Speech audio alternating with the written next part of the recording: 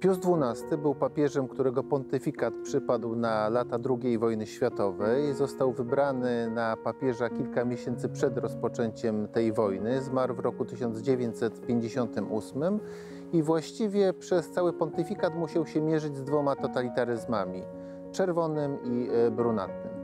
Pius XII był zdecydowanym przeciwnikiem narodowego socjalizmu. Jeszcze jako dyplomata apostolski w Niemczech e, sprzeciwiał się Hitlerowi, nigdy się nie spotkał z Hitlerem.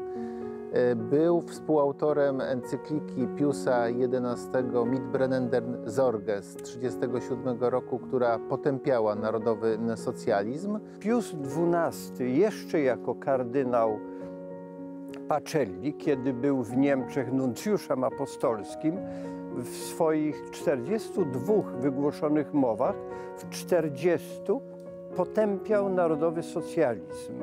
Zwracał uwagę na to, że państwo y, chce, być, chce mieć prerogatywy Boga. To, co państwo powie, to jest słuszne, to jest obowiązujące dla, dla obywateli.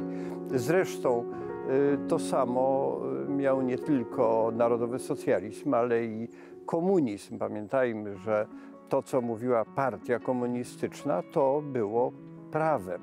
Cały jego pontyfikat był jednym wielkim świadectwem tego, że narodowy socjalizm był mu y, wrogi i starał się wpływy tej ideologii y, zwalczać. Y, także starał się pomagać osobom, które były zagrożone przez reżim hitlerowski. Dzięki mm, papieżowi Piusowi XII około 800 tysięcy Żydów zostało y, uratowanych. Wielokrotnie w czasie swojego pontyfikatu potępiał nazizm i komunizm, ale prowadził dyplomację cichą, ponieważ po doświadczeniu holenderskim, kiedy biskupi holenderscy potępili nazizm, y, Hitler się dostał furii mm, i y, wywieziono wtedy z Holandii jeszcze więcej Żydów niż planowano, między innymi obecnie świętą Edytę Stein i jej siostrę Różę. Pius XII w czasie wojny znalazł się w dramatycznej e, sytuacji. Bardzo wielu katolików znalazło się pod panowaniem z jednej strony komunistycznym, z drugiej strony nazistowskim. I oni stali się pewnego rodzaju zakładnikami. I Pius XII obawiał się, że każde zdecydowane jego słowo wobec któregoś z tych reżimów może skończyć się zemstą na ludności katolickiej. Wobec tego musiał być bardzo e, ostrożny, bardzo wyważony. Raczej unikał gromkich e, publicznych deklaracji, a zamiast tego preferował cichą dyplomację gabinetową oraz dyskretną pomoc, którą oferowały e, placówki i ośrodki katolickie w całej Europie, na przykład wspomagając Żydów zbiegłych e, z getta, e, wystawiając im fa fałszywe metryki chrztu bądź udzielając schronienia w katolickich sierocińcach, w parafiach, innych miejscach. Zresztą on sam kiedy w 1943 roku Niemcy opanowali Półwysep Apeniński, e, pomagał e, Żydom schronić się w papieskich apartamentach, zarówno w Rzymie, jak i w Castel Gandolfo i dzięki niemu większość Żydów w Rzymie uniknęła eksterminacji.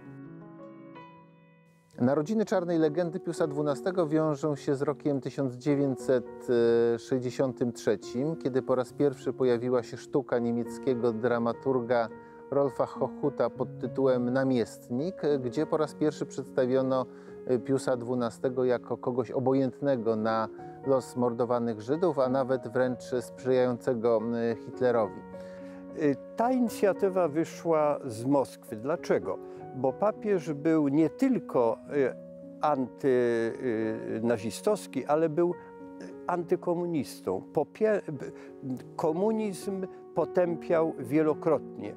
I w Moskwie postanowiono się zemścić. Akcja przeciwko Piusowi XII miała charakter dezinformacyjny.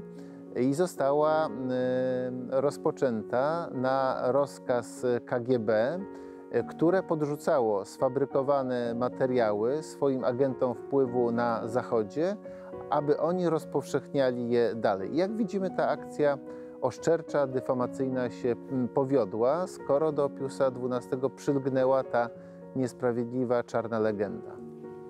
I o ile w 1945-1946 roku Żydzi e, e, chwalili papieża, dziękowali mu, tak jak chociażby premier Izraela Golda Meir, za uratowanie setek tysięcy istnień żydowskich, tak nagle to się odwróciło po śmierci papieża i czarna legenda zaczęła zataczać coraz większe kręgi. Rząd polski po wojnie oczywiście włączył się do tej akcji komunistycznej oczerniającej papieża. Także y, pamiętam doskonale te e, nagłówki gazet jeszcze z lat 50., y, które się ukazywały. Pius XII, papież Hitlera, co jest y, absolutną nieprawdą. Papież wiedział o Holokauście, wiedział, o tym, y, że morduje się również Polaków katolików i w ich obronie się nie wypowiadał oficjalnie, bo wiedział, że po prostu jest tutaj bezradny. Mógł y, tylko i wyłącznie popierać y, nas w modlitwie, co zresztą czynił. Na to są dokumenty, na to są świadectwa w Watykanie. Pius XII starał się w czasie wojny zachowywać neutralność, dlatego że wiedział, że katolicy są po wszystkich stronach tego konfliktu. Próbowano go wciągnąć bądź e, po jednej, bądź e, po drugiej stronie. On jednak zachowywał neutralność, mimo że jego sympatie zdecydowanie były po stronie koalicji antyhitlerowskiej. Mimo, że wspierał państwa zachodnie, to musiał to robić w sposób cichy i roztropny aby nie narażać innych na e, niebezpieczeństwo. Papież prowadził dyplomację bardzo delikatną. E, my akurat doskonale wiemy, co znaczą e, pewne sformułowania i jak przemycał w swoich listach i poparcie dla narodu polskiego, poparcie w czasie powstania warszawskiego, ale wiedział zresztą i od e, biskupów polskich, że nie należy drażnić nazistów, bo to nie, nic nie pomoże, natomiast może wywołać jeszcze większe e, szkody.